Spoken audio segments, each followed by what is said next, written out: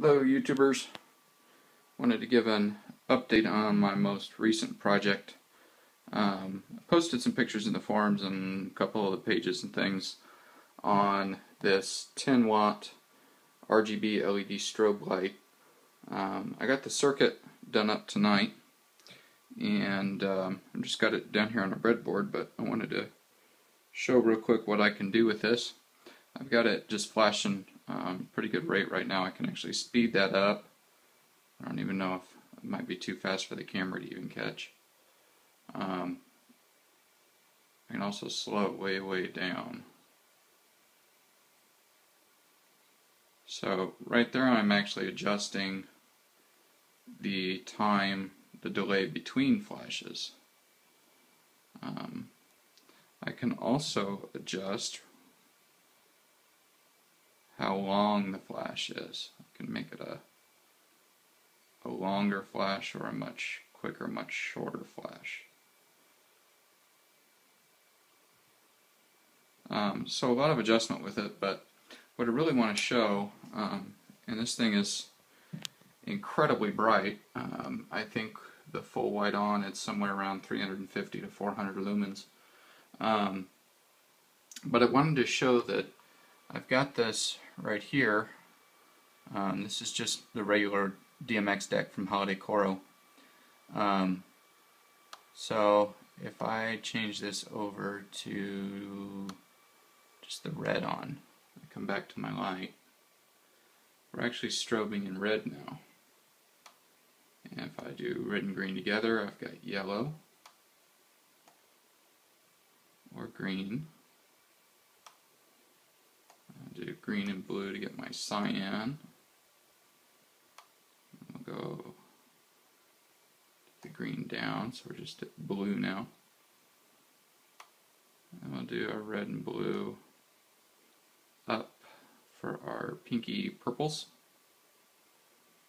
And then, of course, red, green, and blue to get our white.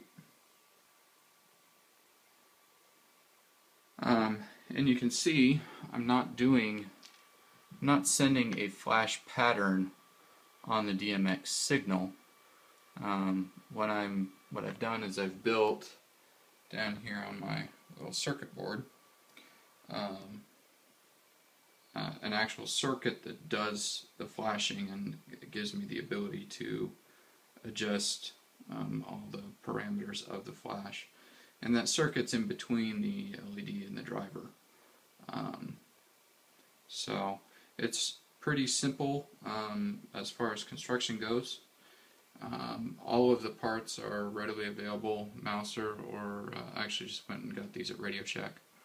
Um, and if I kill the power to my flasher circuit here,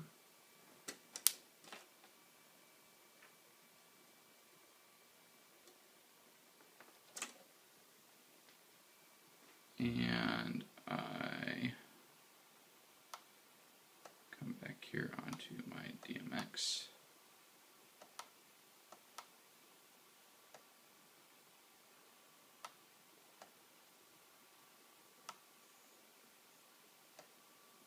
You can see that with no DMX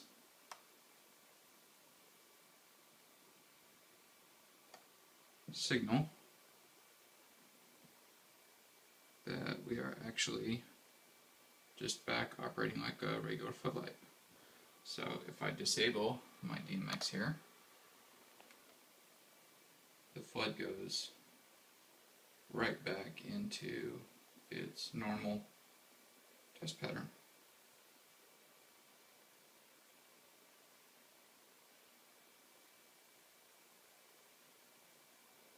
So you can use like a regular floodlight.